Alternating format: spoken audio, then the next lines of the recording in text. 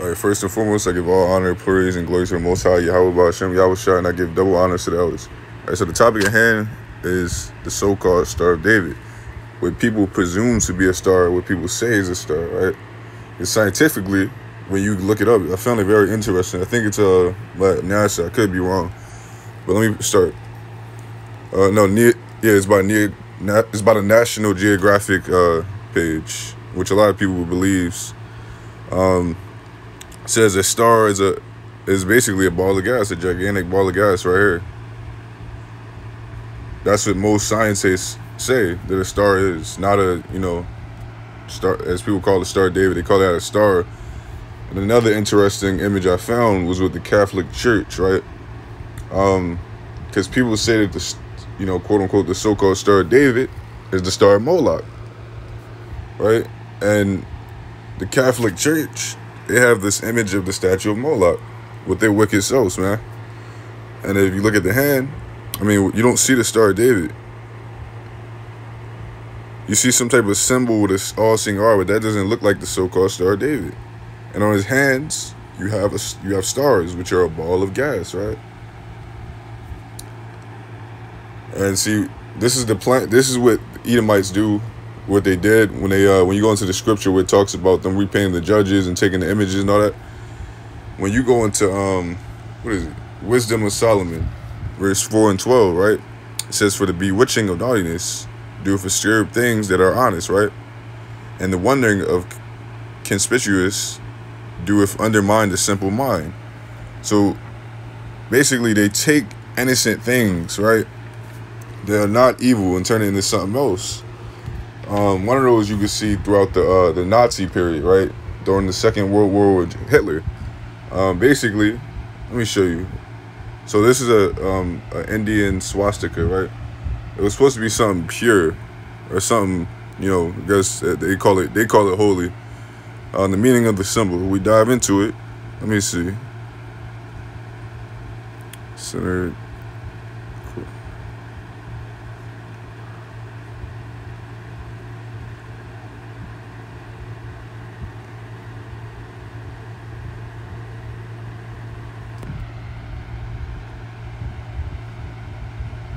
Yeah, right here. The swastika is a holy symbol, right? And Hindu, uh, in the Hindu religion and Buddhist sculptures. And what Hitler did is he took this symbol, right, and it became something else. Became the Nazi symbol, right? The red flag uh, has to do with the blood, they say, and that the white image of the um the Nazi symbol has to do with purity. That's what they say. Another thing with the rainbow, um, the LGBTQ movement, as they call it, or the Pride movement, with you know homosexuals, they took the rainbow right and turned that into uh, the face of their movement. So now when you see a rainbow, you know you think something they're gay, right? But when you go back to the Book of Genesis, the rainbow was a covenant. The Most High would not, you know, end the world in flooding and drowning again. The rainbow is actually a pretty beautiful symbol, but when you see it, you know, you think something else now. So that that's going into that, dealing with innocent things being twisted into something else. Um, let me let me dive into the. So so we have the honeycomb, and we have snowflakes and pomegranates, right? And the snowflake, which the so-called Star of David heavily resembles, right? The honeycomb, in the middle of the star, or uh, I'm just to refer to it as the star for right now, and then switch over to lily. But when you look at honeycombs, right? The middle of it, looks like the so-called Star David. You see the points, you, and then you have you have the pomegranate. The top of the pomegranate looks like a so-called Star David, right? And you have a snowflake, looks like a so-called Star David.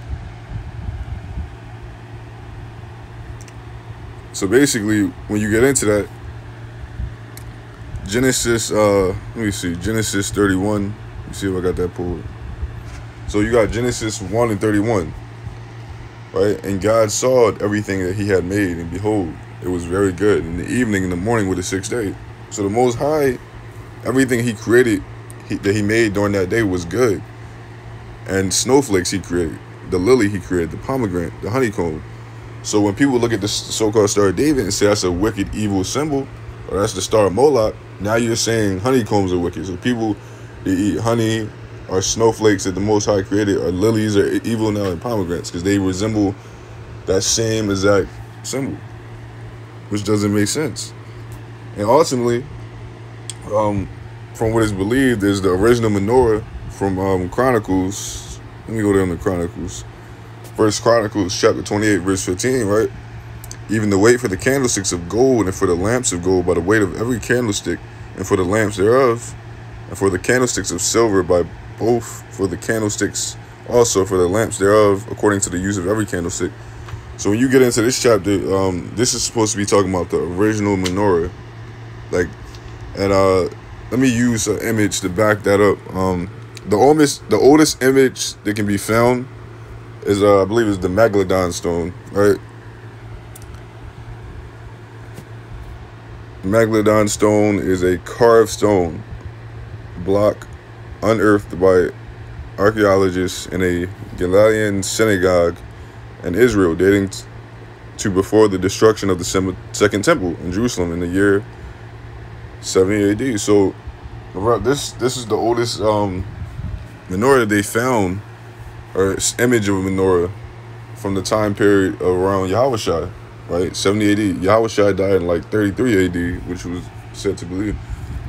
But uh, see a menorah.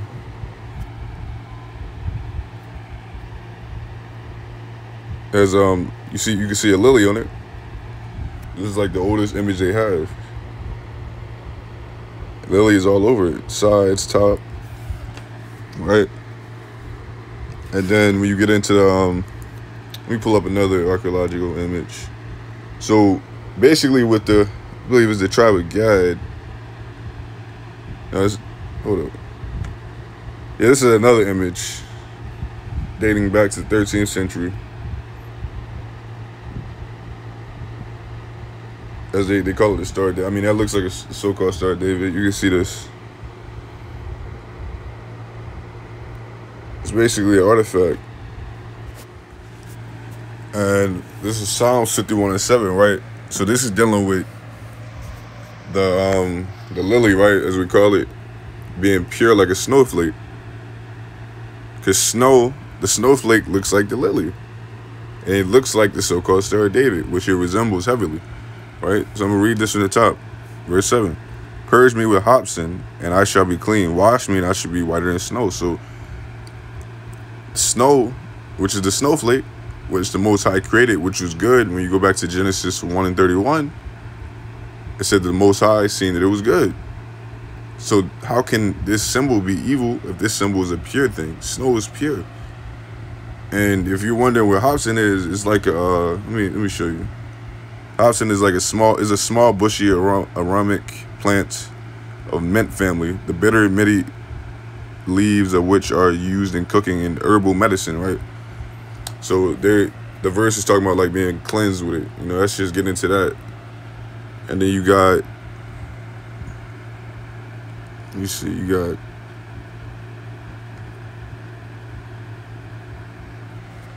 All right, Lamentations Verse 4 and 7.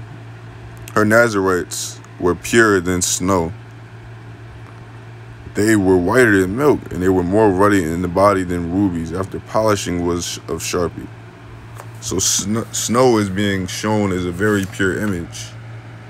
And then on top of that, if the image is an evil image, right, as they say, or is a graven image, that means also Hebrew is also graven. Because when you take apart the lily, or the so-called Star of David, it's actually two upside. It's like one. It's basically two triangles. One is like facing upward, and one is facing downward. And those are two letters in the Hebrew. And when you put them together, you know it makes that that lily. So it's like it just doesn't make sense. Uh, let me also dive into the Hebrew real quick. So we're gonna go into we're gonna use Strong's we're gonna use the Strong's coordinates, right? Hebrew, you know, eight seven seven nine nine. Let me get into that first.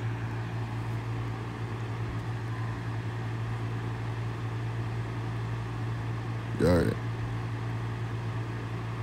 So my Hebrew, uh, let me let me just pull up. My Hebrew isn't as good. Strong's H, 7799. Shushan. Shushan. So I, th- I just pronounce, uh, if I'm pronouncing this correctly, Shushet. So the outline of it says probably any lily-like flower, right? That's dealing with the the Strongs, and then let me dive into another one in the Strong's H H 83, 87.